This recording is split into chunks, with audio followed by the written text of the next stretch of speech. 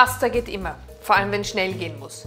Aber damit man ein bisschen eine Abwechslung hineinbekommt in die Schinkenfleckerln und Pasta Carbonara und Pasta Bolognese, die eigentlich ja ziemlich zeitaufwendig ist, zeige ich euch heute ein super Rezept, das ganz simpel ist und ganz schnell geht, mit Erbsen und Prosciutto und ein bisschen Creme fraiche und das geht in einer Pfanne und wir sind fertig. Legen wir los.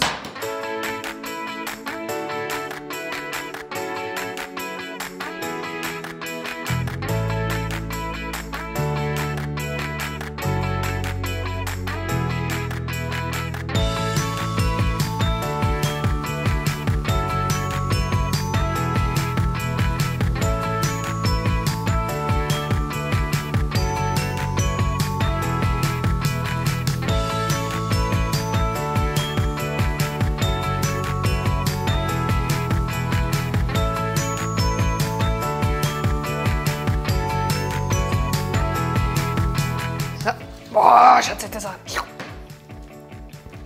So, was wir jetzt noch machen, ist einfach ein paar Prosciutto-Streifen untermischen.